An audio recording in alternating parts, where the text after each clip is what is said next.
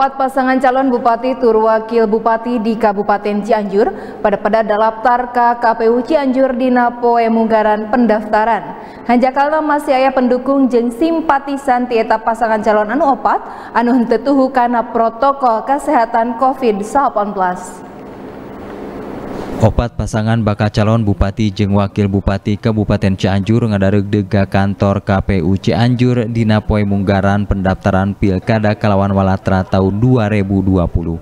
Eta pasangan anu opat ngadegdeg bari dijajab ku para pangurus, pendukung jeung simpatisan ti mula tepi ka sore. Hanjakalna masih aya sajumlah pendukung jeung simpatisan eta paslon anu opat anu api lain aturan protokol kesehatan COVID-19. Eta Bapaslon anu opate nyata Levi Firmansah Gilar Budi Raharja anu didedel ku PKS jeung PKB Muhammad Toha Ade Sobari anu mangrupa pasangan tina jalur independen. Herman Soerman Tubagus Mulyana didedel ku PDIP Nasdem Golkar PPP Turpan anu mangrupa pasangan petahana.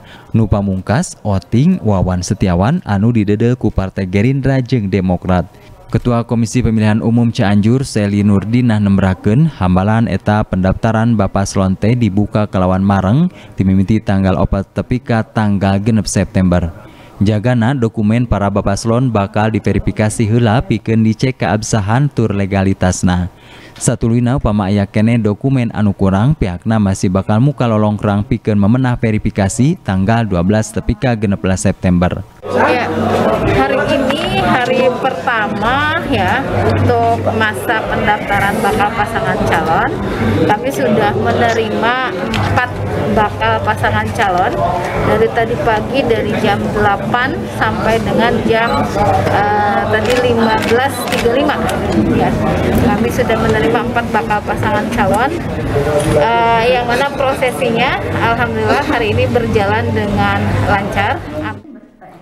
Heri Setiawan Bandung TV